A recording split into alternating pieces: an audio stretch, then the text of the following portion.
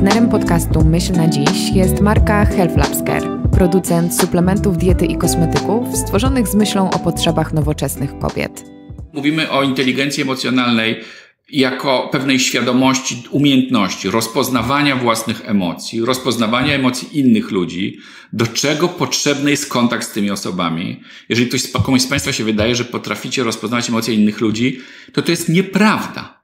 Wiemy, że jest tak dużo książek, że tam spojrzał, zobaczył, hmm, zacząłem tej mikroekspresję, wiem, co ona myśli. Ludzie sami nie wiedzą, co myślą. Ja nie wiem, jakie mają teraz emocje w sobie. A gdzie, jak ty byś mi powiedziała, że rozpoznajesz, już w ogóle raz tam na jakiś czas można wcelować i się zajaramy. Ale to w sumie jak ślepej kurze ziarno. Najczęściej nie rozpoznajemy ludzkich emocji. Jest trudne strasznie. One są bardzo elastyczne, skomplikowane. Często dużo jest efemerycznych takich bardzo emocji. Na przykład zaskoczenie. Przecież to nawet sekundy nie trwa.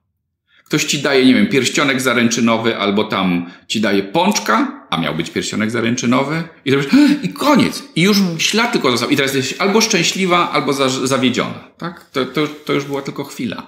A to też jest emocja. Więc to jest, więc rozpoznawanie innych to jest takie w ogóle, że my możemy próbować się dowiedzieć i ustalić jeszcze jak ktoś wie, co z tym zrobić, to i tak pół bidy, ale lepiej za głęboko być może też nie grzebać. Najczęściej kończymy na tym, że mówimy ludziom, masz prawo się tak czuć. To jest coś, co ty powiedziałeś, tak? Że przyjaciel ci powie, to przyjaciela, wiesz, no jednak moja szefowa to jednak jest podkład kolejowy.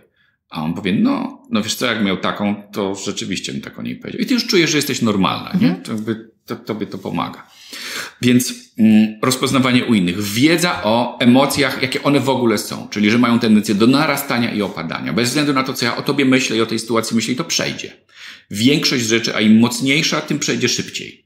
Czyli na przykład, jak uważam, że wyglądasz jak wyjdź stąd, to wiem, że za 15 minut w ogóle już nawet nie będę wiedział, jak mogłem dojść do takiego wniosku. Aż tak, aż tak, dlatego my często potem przychodzimy przepraszać, jak nam się uleje. jeszcze jednym elementem e, przykład wiedzy o emocjach jest emocjonalne wspieranie myślenia. Czyli, że jak ja e, wiem, że po kinie na przykład pójdę sobie na jakiś film o życiu jakiegoś Almodowara tam i będę rozmontowany, to nie zostawiam sobie nauki na egzamin jutro. Bo wiem, że po filmie to już będę próbował wciągnąć tyle palosanto, żeby nie pozostawiło to mojego układu nerwowego obojętnym, a nie będę na na przykład historii średniowiecza skupiony. Albo że rano lepiej, albo że, porozmowa, albo że rozmowa z taką osobą to o tym i w takiej formie i o tej porze. To, to jest, to, to wszystko się, i, i to nie dotyczy żadnej płci, jednej i drugiej, tak? To i kobiety i mhm. mężczyźni.